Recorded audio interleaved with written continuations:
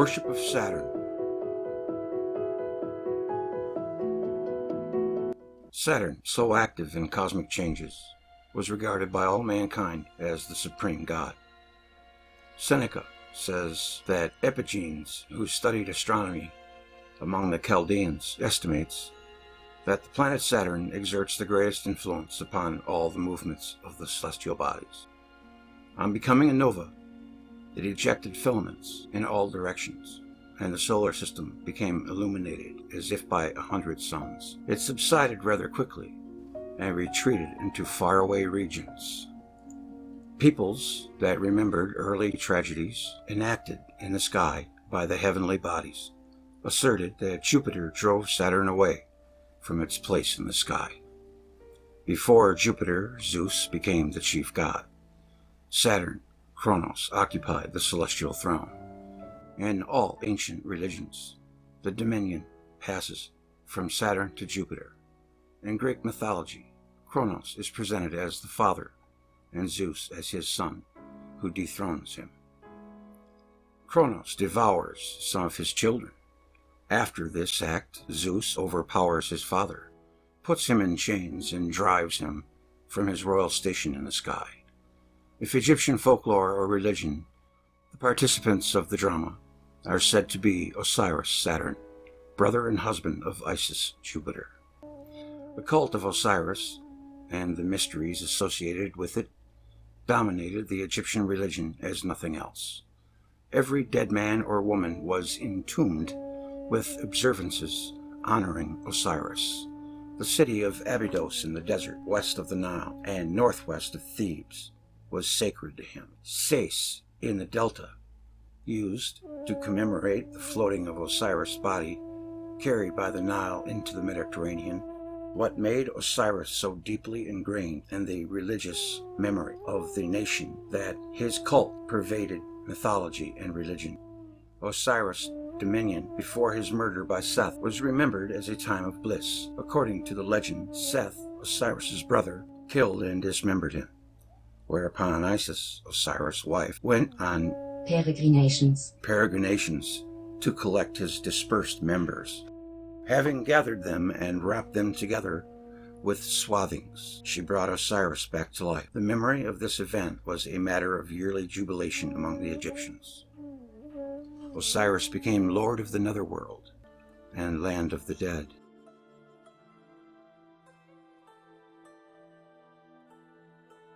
The land of the dead, a legend, a prominent part of the Osiris cycle, tells that Isis gave birth to Horus, whom she conceived from the already dead Osiris, and that Horus grew up to avenge his father by engaging Seth in mortal combat.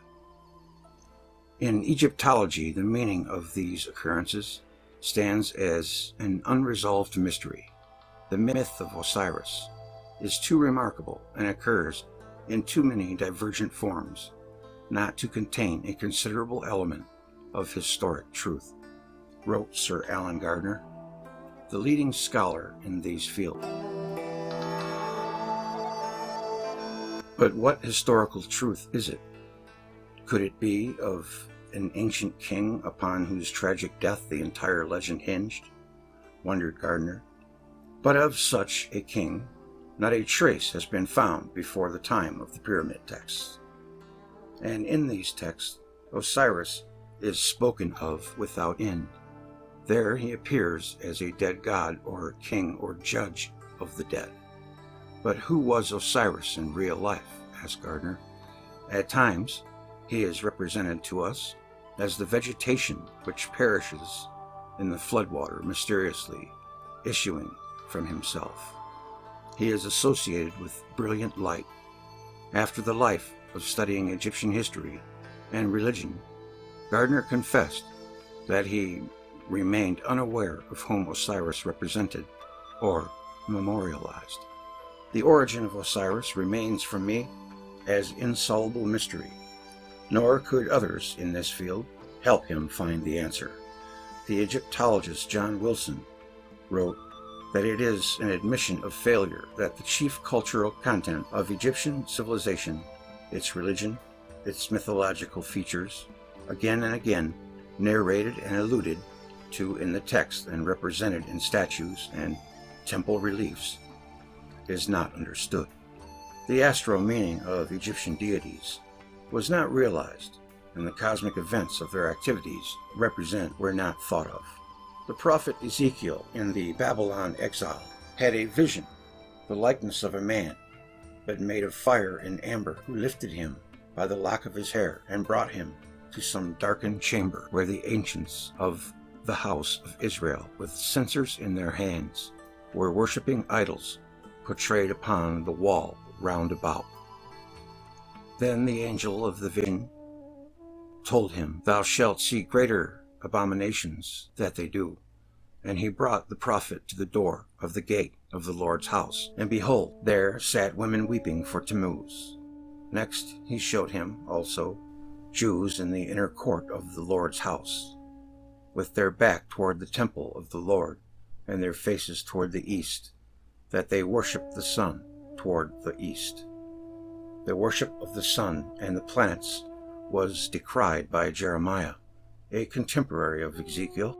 But what was this weeping for Tammuz? Tammuz was a Babylonian god, one of the months of the year, approximately coinciding with July, in the summer, was named in his honor. And by this very name it is known in the present day Hebrew calendar, Tammuz, was the god that died and was then hidden in the underworld.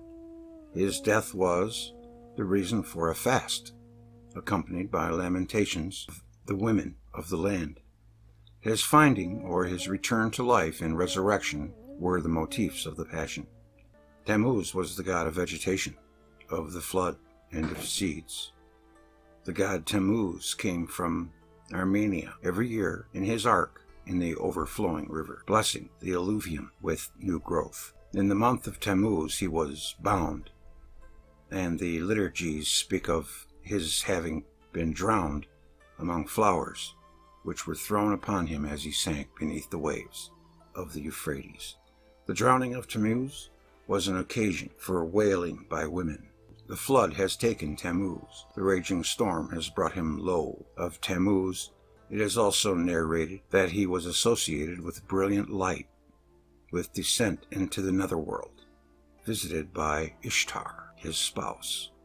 Tammuz's death, his subsequent resurrection, or his discovery in the far reaches, but no longer brilliant, were the themes of the cult that was not just one of the mysteries, but the chief and paramount cult. The Osirian mysteries, the wailing for Tammuz, all refer to the transformation of Saturn during and following the deluge. Osiris was not a king, but the planet Saturn, Kronos of the Greeks, Tammuz of the Babylonians. Babylonians called Saturn the star of Tammuz. After the deluge, Saturn was invisible. The sky was covered for a long time by clouds of volcanic dust. And the Egyptians cried for Osiris, and the Babylonians cried for Tammuz. Isis, Jupiter at that time, went in search of her husband and Ishtar, also Jupiter at that early time, went to the netherworld to find her husband Tammuz. For a time Saturn disappeared, driven away by Jupiter, and when it reappeared, it was no longer the same planet. It moved very slowly. The disappearance of the planet Saturn in the netherworld became the theme of many religious observances, compromising liturgies, mystery plays, lamentations, and fasts, when Osiris was seen again in the sky, though greatly diminished. The people were frenzied by the return of Osiris from death. Nevertheless, he became king of the netherworld. In the Egyptian way of seeing the celestial drama, Isis, Jupiter, the spouse of Osiris, Saturn, wrapped him in swathings. Osiris was known as the Swathed the way the dead came to be dressed for their journey to the world of the dead, over which Osiris reigns. Similar rites were celebrated in honor of Adonis, who died and was resurrected after a stay in the Netherland, in the mysteries of Orpheus.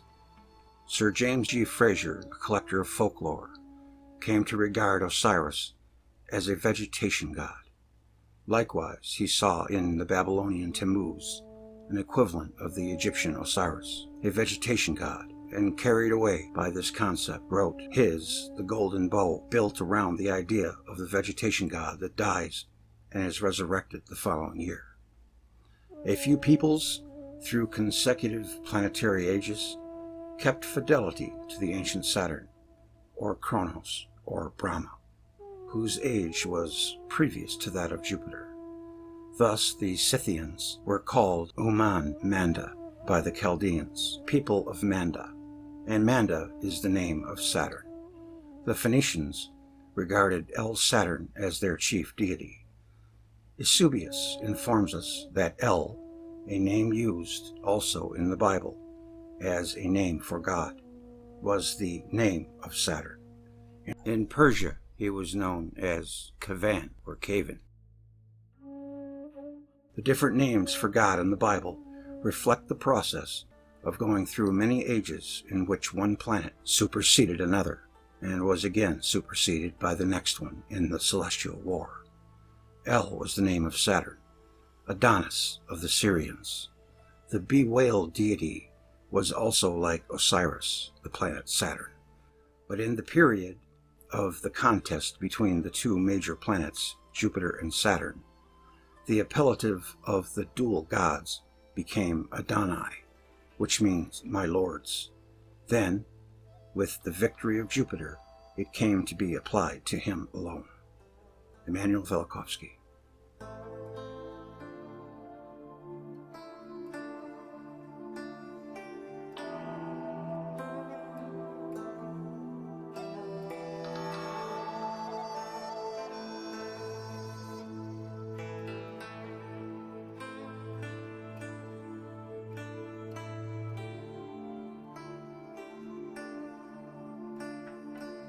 Velikovsky's Comet, Part 2 Venus, Smoking Star. In arguing for the cometary character of Venus, Velikovsky cited Aztec records suggesting that the planet Venus shared the same title given a comet. The early traditions of peoples of Mexico, written down in pre Columbian days, relate that Venus smoked, the star that smoked. Que humeva was Citlal Cholula, which the Spaniards called Venus. Now I ask, says Alexander Humboldt, what optical illusion could give Venus the appearance of a star throwing out smoke? Sahagun, the 16th century Spanish authority on Mexico, wrote that the Mexicans called a comet a star that smoked. It may thus be concluded that since the Mexicans called Venus a star that smoked, they considered it a comet. In Bob Forrest's mind, the Aztec references could have nothing to do with what may or may not have happened back in the mid second millennium BC, because the references to Venus smoking came from the 16th century AD. In a number of instances, Aztec records say that Earth shook and the star Citlal Venus, smoked.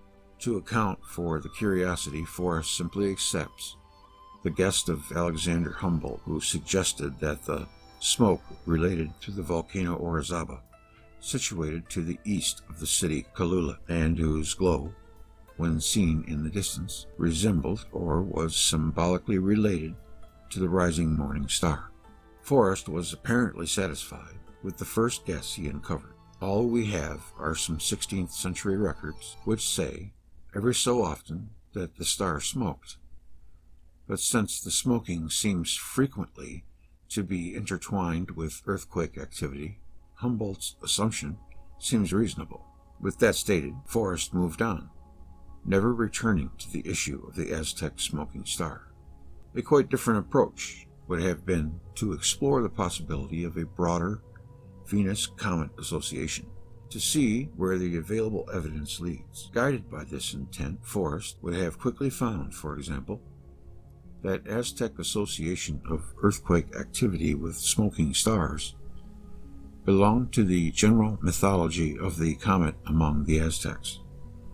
Thus, with respect to the comets portrayed in the Codex Vaticanus and Codex Telleriano-Remensis, the respected authority on Mexican astronomy, Anthony Aveni, writes, Comets are represented frequently by surviving historical documents, usually by a stellar image on a blue background with emanating streams of smoke. These usually signify that a person of nobility will die. For example, one picture of the death of the ruler Tenochtitlan followed the apparition of a comet. Later, another comet occurs, then an earthquake, all of nature's events being connected in the Aztec cosmic view. As I hope to demonstrate fully in this series of articles, the connectedness of these images derives from a universal substratum of myth, appearance of a comet, death of a great ruler, quaking earth, not in Mexico alone, but in one ancient culture after another. The Sky Watchers repeatedly placed these unusual themes in juxtaposition. Despite this crucial fact, no comet observed by science has ever justified the symbolic connection. But Forrest seems unaware that the language employed in astrological texts and omens is drawn from ancient mythical images, following his mythological ground rules. Therefore, no records of portents in the sky recorded in the last three millennia would be of any relevance to Velikovsky's argument, even when repeatedly attached explicit cometary images to Venus. With respect to the image of the planet Venus as the smoking star in the Codex Telleriano Remensis, if any, offers his own attempt at an explanation. Perhaps a cometary object appeared near the planet. Of course, Forrest could just as easily have cited this guess, then dropped the whole issue. But is there something more worth investigating here?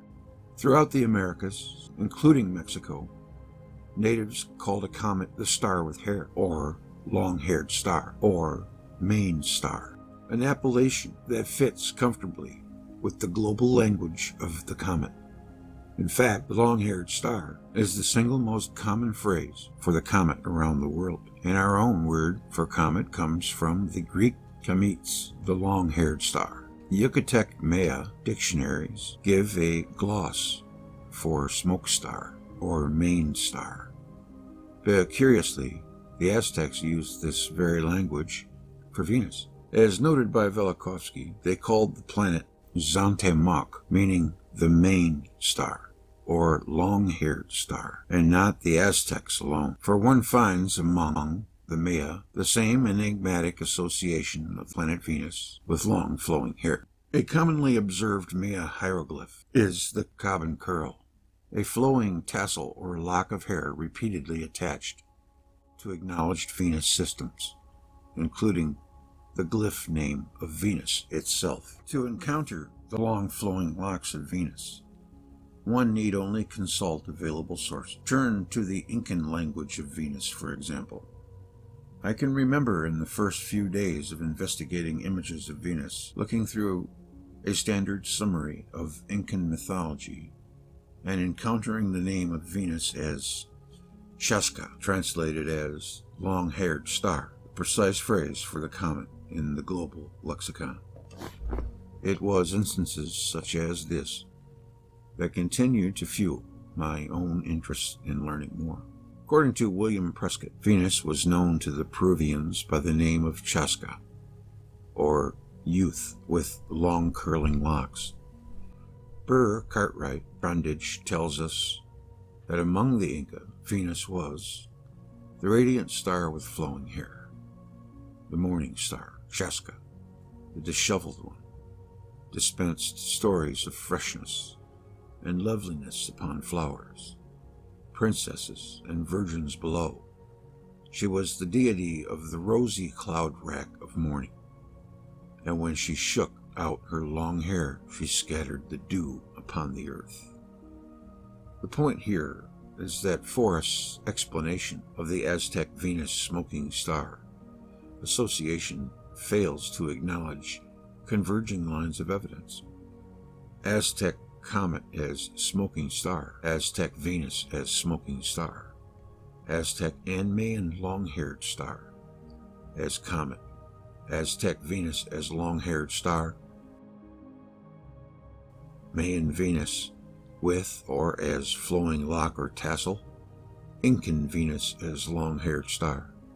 Hence, the methodological issue is placed in sharp relief. Here is another way of looking at the issue logically. Around the world, there are only a small number of pre astronomical hieroglyphs for the comet. You could, in fact, count the primary glyphs on the fingers of one hand.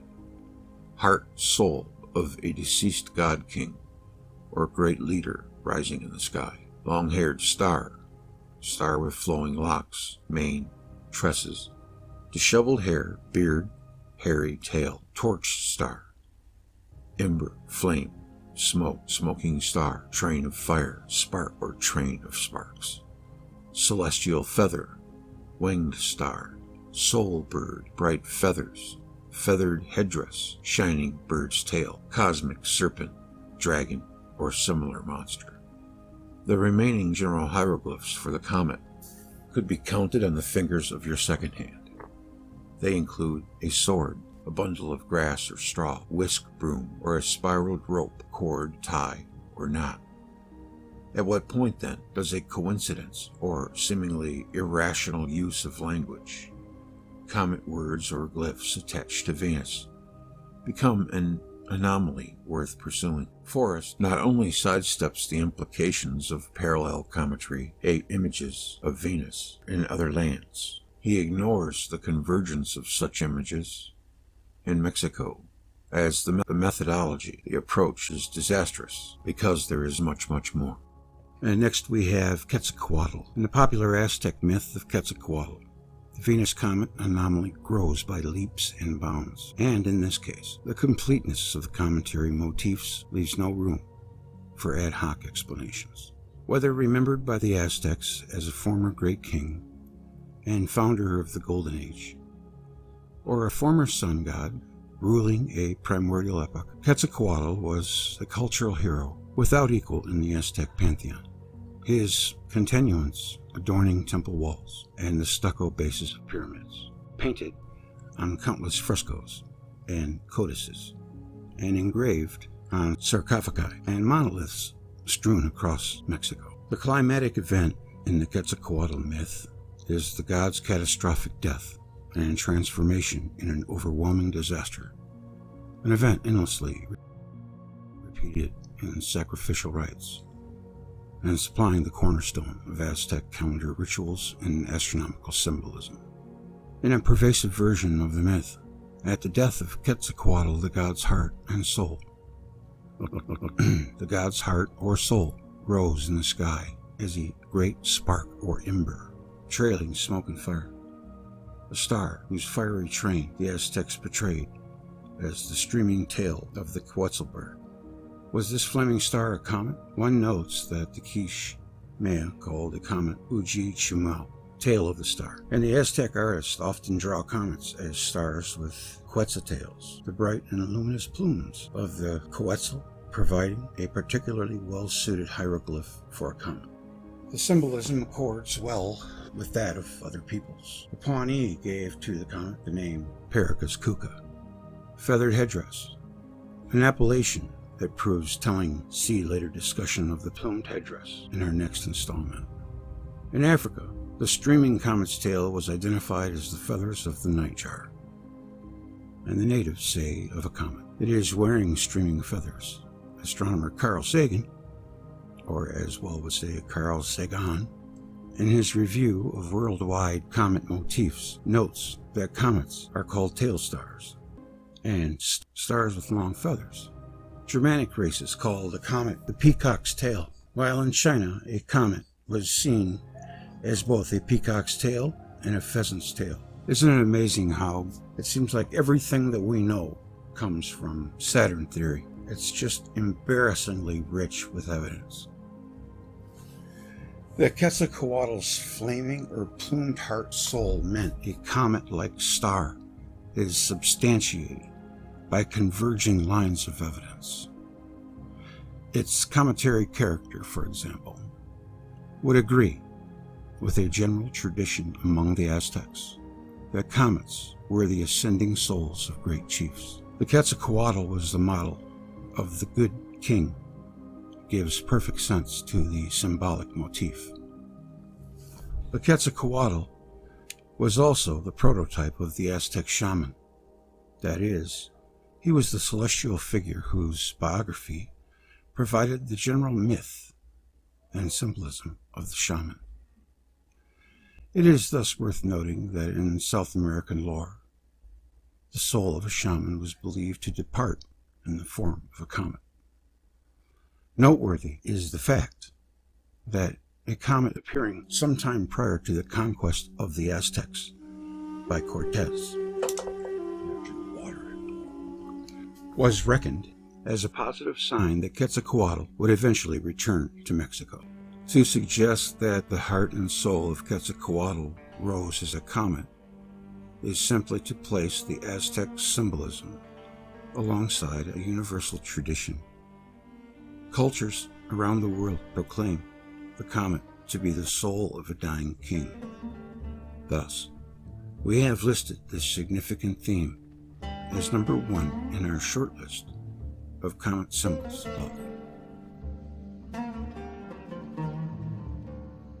But there is a problem here.